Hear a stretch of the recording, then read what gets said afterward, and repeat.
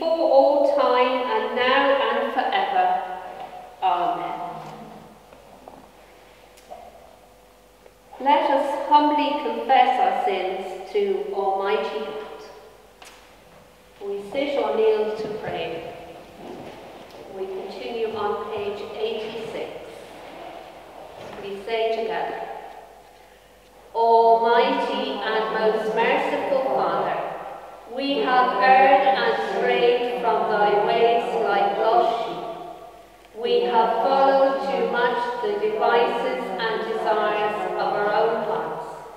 We have offended against thy holy laws. We have left undone those things which we ought to have done.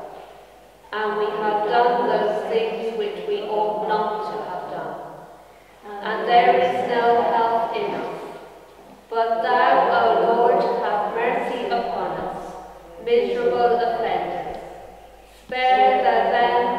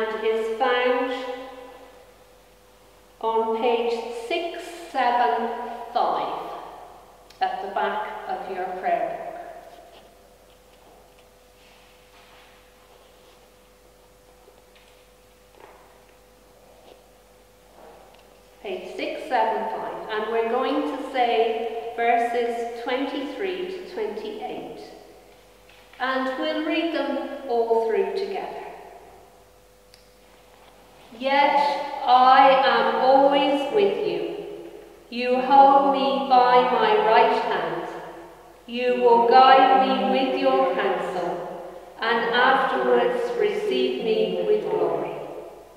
Whom have I in heaven but you? And there is nothing upon earth that I desire in comparison with you. Though my flesh and my heart fail me, God is the strength of my heart and my portion forever. Truly those who forsake you will perish. You will put to silence the faithless who betray you. But it is good for me to draw near to God. In the Lord God have I made my refuge, that I may tell of all your works. Amen. Please be seated. What wonderful words we have there we can draw near to God, for He is our refuge.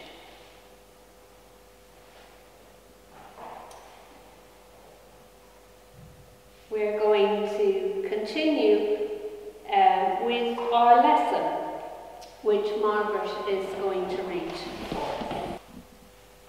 The lesson is taken from Luke chapter 10, verses 38 to 42. Now, as they went on their way, he entered a certain village where a woman named Martha welcomed him into her home. She had a sister named Mary, who sat at the Lord's feet and listened to what he was saying. But Martha was distracted by her many tasks. So she came to him and asked, Lord, do you not care that my sister has left me to do all the work by myself? Tell her then to help me. But the Lord answered her, Martha, Martha, you are worried and distracted by many things. There is need of only one thing. Mary has chosen the better part, which will not be taken away from her. Here ends the lesson. And we will hear a little more of Martha and Mary in a while. But first, we're going to stand and say together the Apostles' Creed on page 95.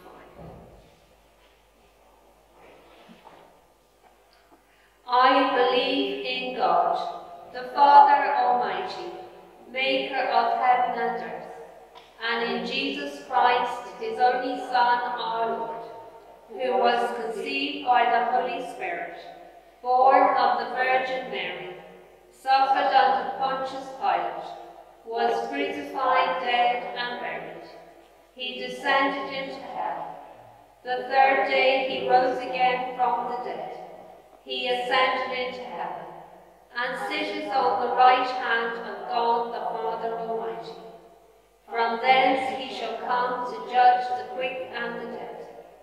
I believe in the Holy Spirit, the Holy Catholic Church, the communion of saints, the forgiveness of sins, the resurrection of the body, and the life everlasting.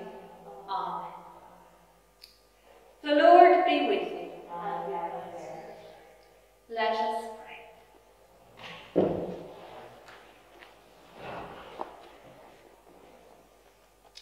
Lord, have mercy upon us. Christ, have mercy upon us. Lord, have mercy upon us. Our Father, who art in heaven, hallowed be thy name. Thy kingdom come, thy will be done on earth as it is in heaven. Give us this day our daily bread, and forgive us our trespasses, as we forgive those who trespass against us. And lead us not into temptation, but deliver us from evil. Amen.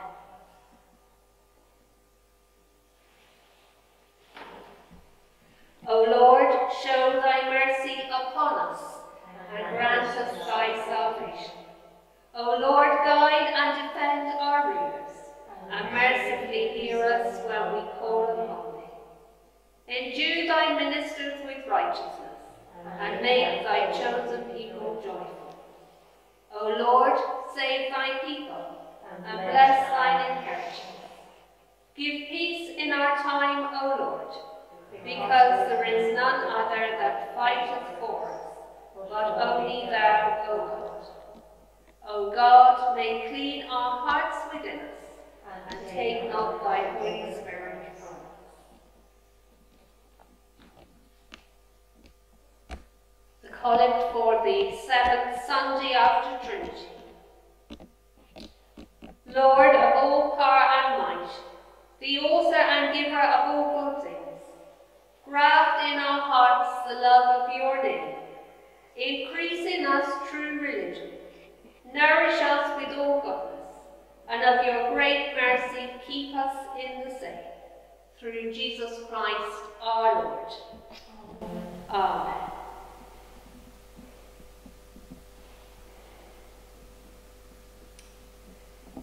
We're going to say together the third collect on um, page 97.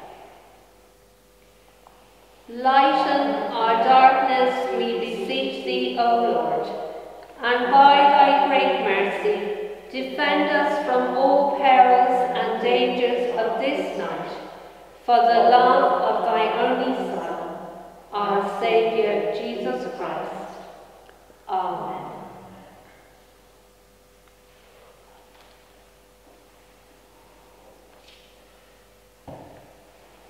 Let us pray.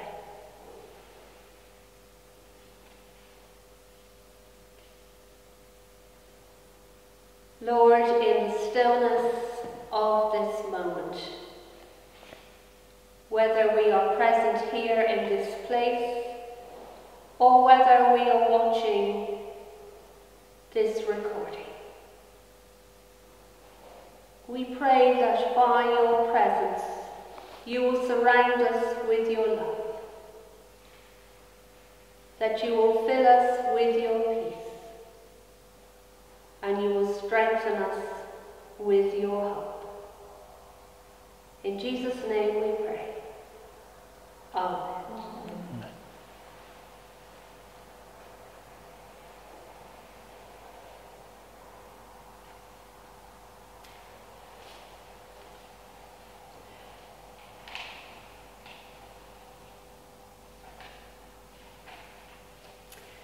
Margaret read to us that wonderful passage of the two sisters, Martha and Mary.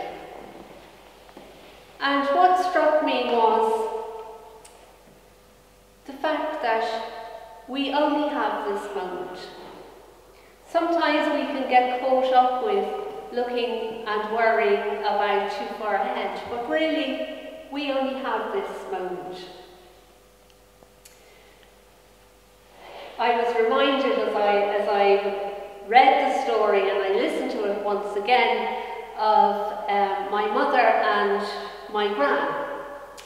And when I was growing up, uh, I often remember hearing my mother say to her mother, Mother, will you stop working and will you come and sit down a minute? And of course, time passed and my granny passed on. And now we can find ourselves saying to our own mother, uh, and, Mother, will you stop working and come and sit down for a minute? It's interesting because I was talking about this fact as well um, with someone last Sunday after the service, and um, you know, for some of us growing up, you know, it really was a bit of a sin to actually find yourself sitting down and resting. It sort of went against everything and the work ethic that uh, we were brought up with.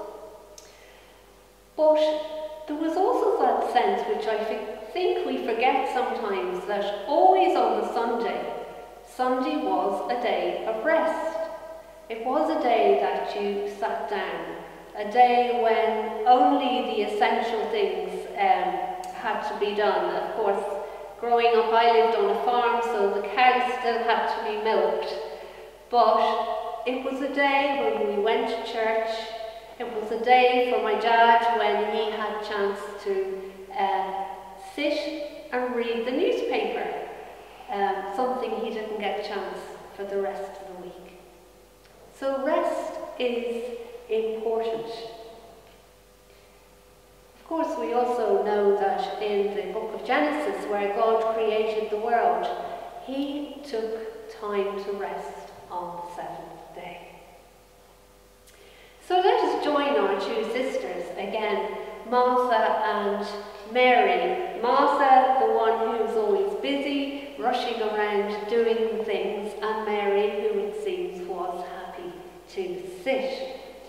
Um, I, looking back, can remember well, I had two sisters, but one of them was nearer in age to me, and we often had those sisterly squabbles as to whose turn it was to do the washing up or the drying up. And I think these things are common in, in every family and no different with Martha and Mary.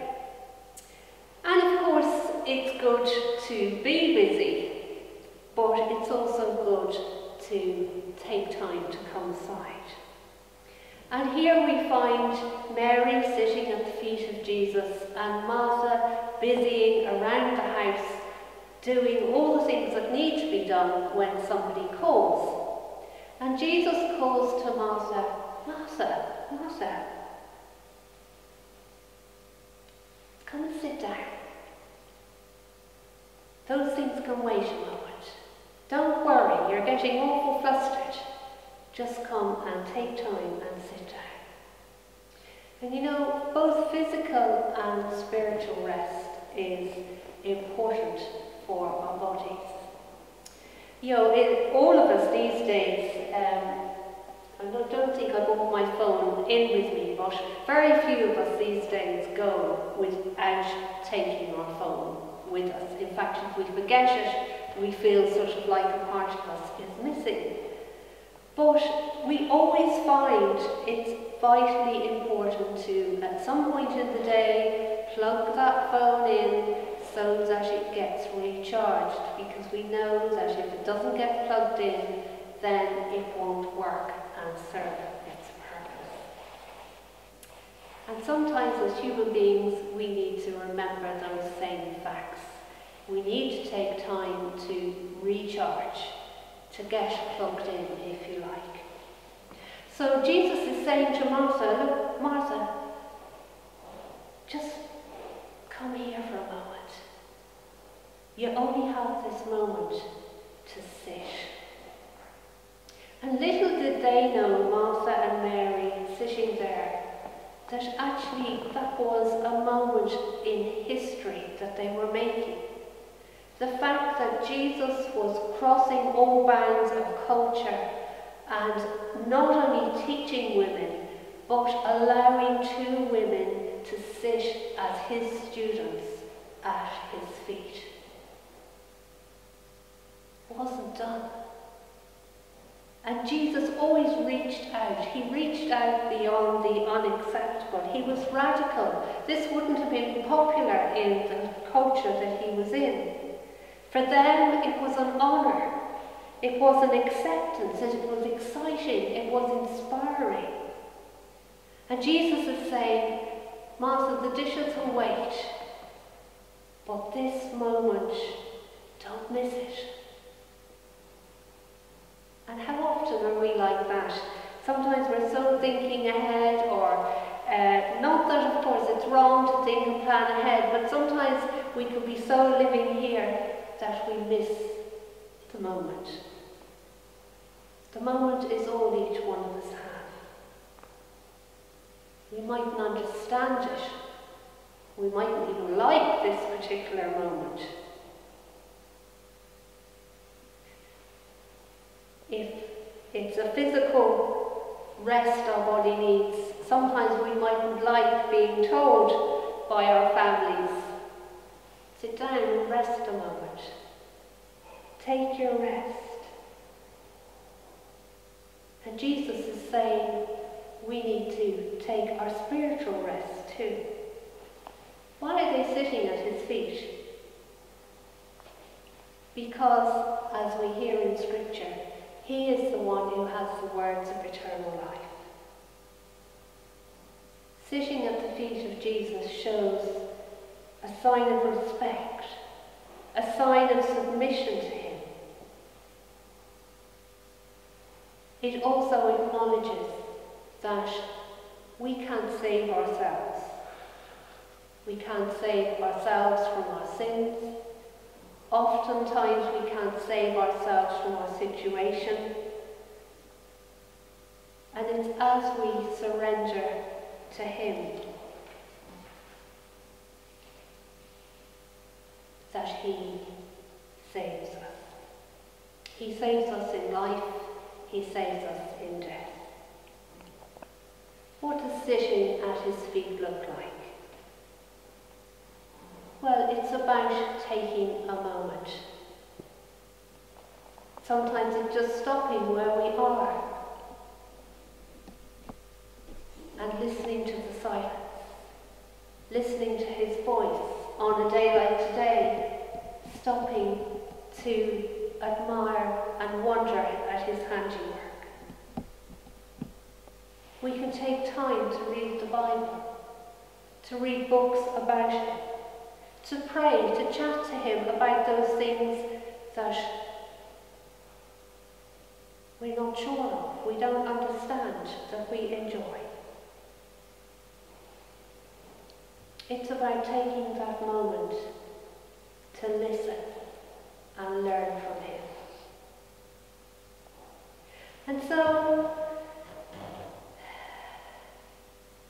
as we think about those two wonderful women, as we go out into another week, into all the situations that we face, let's remind ourselves that Jesus calls us just to enjoy the moment.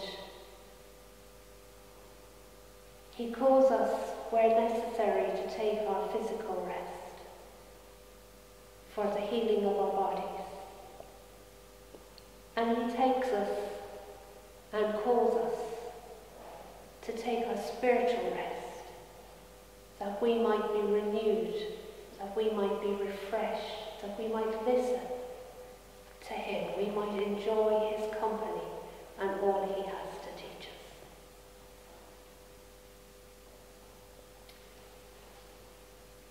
So may God bless each one.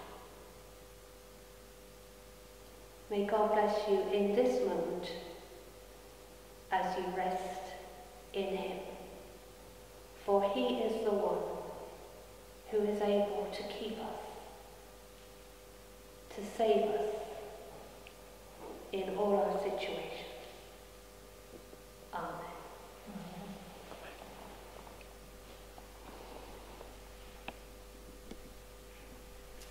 Let us pray.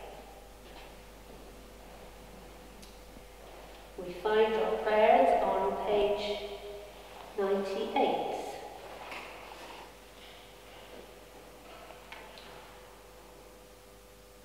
Almighty God, who rulest over the kingdoms of the world, we commend to thy merciful care the people of this land, that being guarded by the providence, thy providence, they may dwell secure in thy peace. Grant to the President of this state and to all in authority wisdom and strength to know and to do thy will. Fill them with the love of truth and righteousness, that they may serve thy people faithfully, to thy honour and glory, through Jesus Christ our Lord. Amen. Almighty God, source of all authority and wisdom, guard, guide by your Spirit those who represent us in the Dáil and Seanad. As representatives of the people, keep them humble. As legislators, make them compassionate. And as politicians, defend their integrity. So may the proceedings of the Oireachtas serve the truth and promote the common good. We pray in the name of Jesus Christ, the servant Lord. Amen. Amen. Almighty and everlasting God, who alone worketh great marvels, send down upon our bishops and clergy and all people committed to their charge the healthful spirit of thy grace, and that they may truly please thee. Pour upon them the continual dew of thy blessing. Grant this, O Lord, for the honour of our advocate and mediator, Jesus Christ. Amen. O God, the creator and preserver of all humankind, we humbly beseech thee for all sorts and conditions of people, that thou wouldst be pleased to make thy ways known unto them, thy saving health unto all nations. More especially we pray for the good estate of the Catholic Church, that it may be so guided and governed by thy good Spirit, that all who profess and call themselves Christians may be led into the way of truth, and hold the faith in unity of spirit, in the bond of peace, and in righteousness of life. Finally, we commend thy fatherly goodness, all those who are any ways afflicted or distressed, in mind, body, or estate. We pause as we add our own prayers.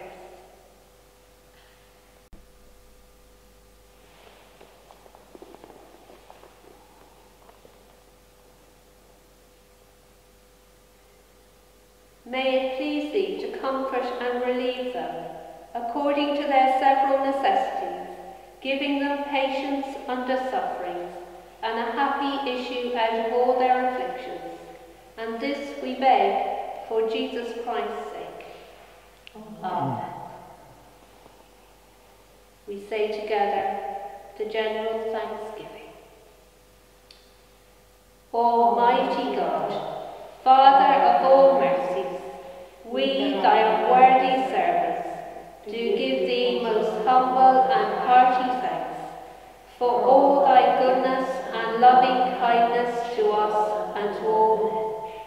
We bless thee for our creation, preservation, and all the blessings of this life, but above all for thine inestimable love in the redemption of the world by our Lord Jesus Christ, for the means of grace and for the hope of glory. And we beseech thee, give us that due sense of all thy mercies, that our hearts may be unfeignedly thankful, and that we show forth thy grace, not only with our lips, but in our lives, by giving up ourselves to thy service, and by walking before thee in holiness and righteousness all our days. Through Jesus Christ our Lord, to whom with thee and the Holy Spirit be all honour and glory, world without end. Amen.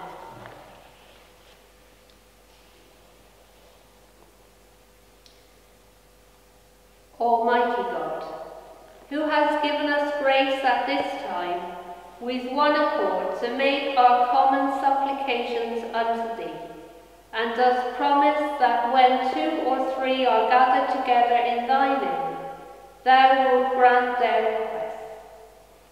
Fulfill now, O Lord, the desires and petitions of thy servants, as may be most expedient for them, granting us in this world knowledge of thy truth, and in the world to come life everlasting.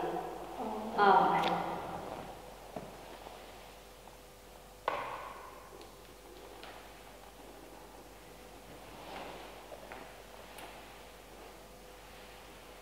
Our final hymn for tonight is that wonderful hymn, O Lord my God,